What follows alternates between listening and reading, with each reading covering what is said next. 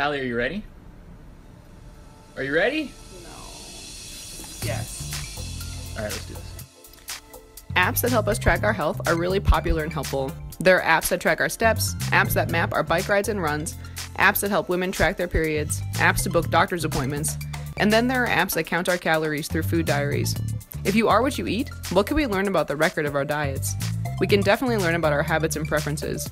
For example, what can we guess about a person from this diet? Perhaps we guess they're an American. What about this diary entry?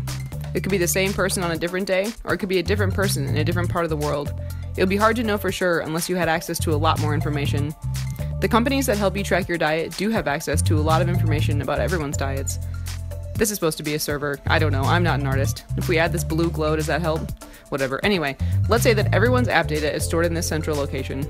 Last year, MyFitnessPal reported that they had over 80 million registered users worldwide and a database of over 5 million foods. People from all over the world log in every day to track what they're eating.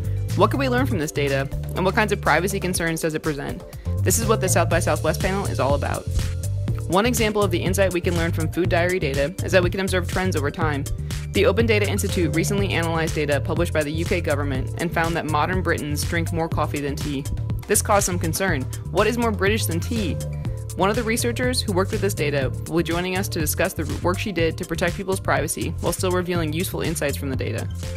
We could also put this data to work alerting people about food safety issues. Wouldn't it be nice if your food diary app could tell you that your peanut butter was recalled? Representatives from private industry and government health and safety offices will join us to discuss the pros and cons of this kind of data sharing arrangement. On the other hand, we can sometimes get ahead of ourselves when it comes to data. We want all the benefits and don't want to think about the risks. Food diaries contain sensitive information about our health and identity that we may want to keep private. CDT will bring this perspective to the panel discussion. If you think this sounds interesting, vote for our panel to be part of South by Southwest 2017.